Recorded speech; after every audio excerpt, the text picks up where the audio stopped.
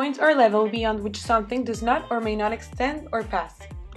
Sometimes we can't work something out directly, but we can see what it should be as we get closer and closer.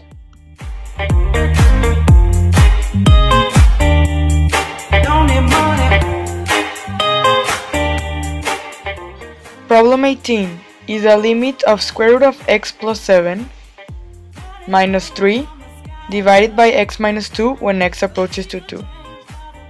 You want to get rid of the square root of the top. To do this, you have to multiply both the top and the bottom by its conjugate, which in this case is square root of x plus 7 plus 3.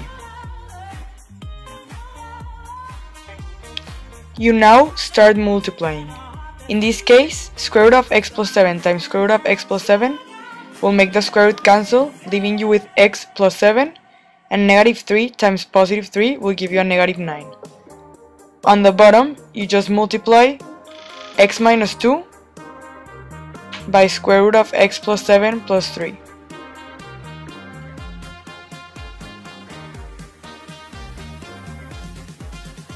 After subtracting everything from the top, you will have x minus 2 over x minus 2 times square root of x plus 7 plus 3.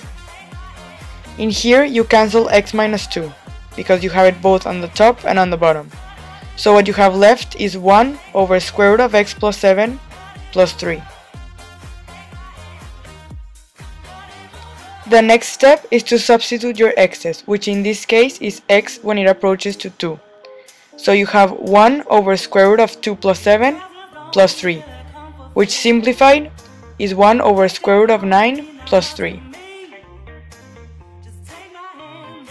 As we all know, the square root of 9 is 3, so you have 1 over 3 plus 3, which equals 1 over 6.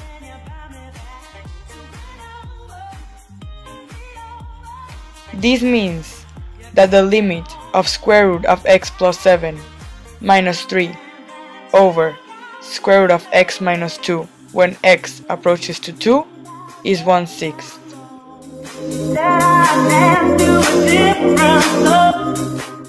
The derivative is a way to represent rate of change, that is, the amount which a function is changing at one given point.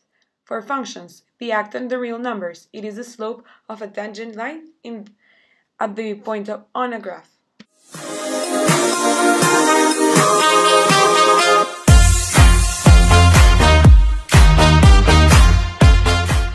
Finding derivatives by definition. First, you have to write down the formula to avoid any mistakes. After this, you have to rewrite the equation you were given based on the formula. Now simplify the equation.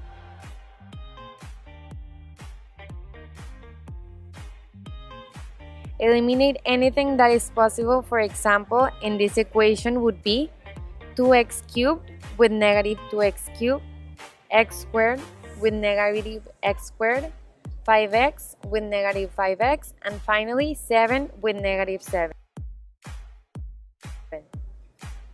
Take out the h, which is a common factor.